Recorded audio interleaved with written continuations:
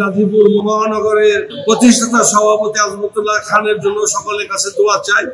আল্লাহ যেন তাকে সুস্থ রাখে এবং সামনে মেয়র হিসেবে তাকে দেখতে চাই।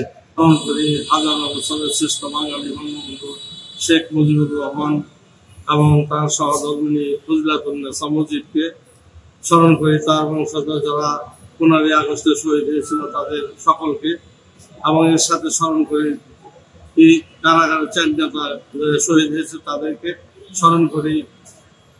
বাংলাদেশ সৃষ্টি হতে যে মুক্তিযোদ্ধা যারা জীবন দিয়েছে, যে বীর পুরুষরা দেশের শ্রেষ্ঠ সন্তানরা তাদেরকে স্মরণ করি। মা বোনদের যে বিনিময়ে বাংলাদেশ স্বাধীন হয়েছিল তাদেরকে।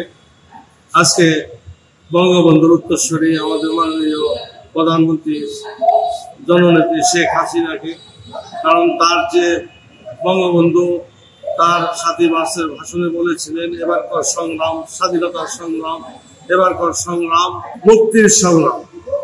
সেই যে সংগ্রামের স্বাধীনতার সংগ্রাম আমাদের বঙ্গবন্ধু পূরণ করে গেছিল, যে স্বপ্ন দেখছিল, স্বপ্ন পূরণ করে গেছিল, তার বাকি স্বপ্ন যে ছিল, তারই কন্যা বঙ্গবন্ধু শেখ মুজিবুর রহমানের সদস্য কন্যা, আমাদের মাননীয় প্রধানমন্ত্রী, তার যে সেই সোনার বাংলা গড়ার প্রচেষ্টা চালিয়ে যাচ্ছে সেই ক্ষেত্রে সারা বাংলার স্বাধীনতার পরে সর্বশ্রেষ্ঠ একটা উপহার বাঙালিকে দিয়েছে পদ্মা সেতু।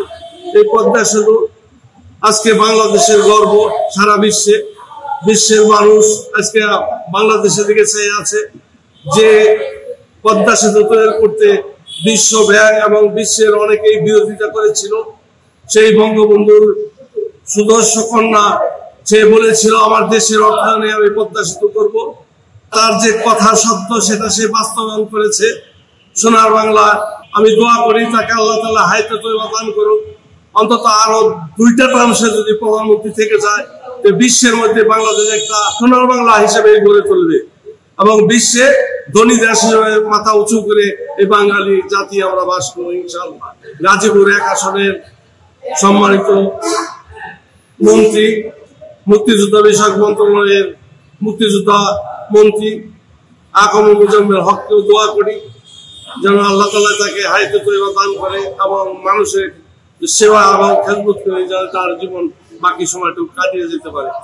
এর সাথে সাথে আমি আমার গাজীপুর মহানগরের বাসীকে অগ্রিম ঈদুল আজহা শুভেচ্ছা জানাচ্ছি। সকলের কাছে আমিও দোয়া চাচ্ছি। আমার জন্য দোয়া করেন। ইনশাল্লাহ আল্লাহ তালা আপনাদের সকলকে তৈবা দান করুক। আমি আরেকটু বলেন। গাজীপুর মহানগরের সকলকে ঈদে আজহা অগ্রিম শুভেচ্ছা দিতে জানাচ্ছি এবং আমি গাজীপুর মহানগর আট নং ওয়ার্ড আওয়ামী লীগের সভাপতি মোহাম্মদ হেলাল উদ্দিন হেলু সকলের কাছে দোয়া পাচ্ছি মহানগরে